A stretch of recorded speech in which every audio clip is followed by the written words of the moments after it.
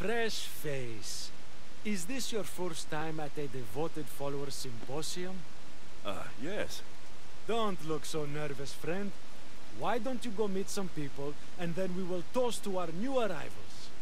Oh, if you're at a loss for words, let other members know whether you think Adonis or Hermes is Persephone's soulmate. We debate that for hours here.